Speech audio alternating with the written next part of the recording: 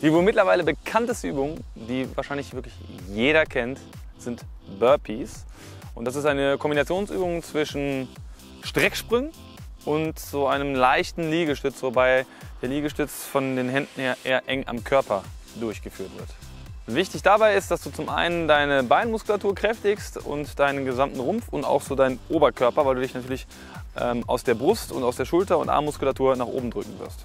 Startpunkt ist unten auf dem Boden in Bauchlage.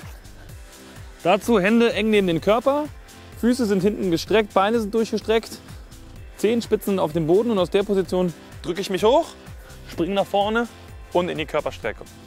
Dann komme ich wieder runter, nach unten, drücke mich wieder hoch und nach vorne. Das kann ich jetzt vom Tempo her variieren. Das heißt, ich kann jetzt, wenn ich gelandet bin, sofort wieder nach unten kommen und nach oben springen.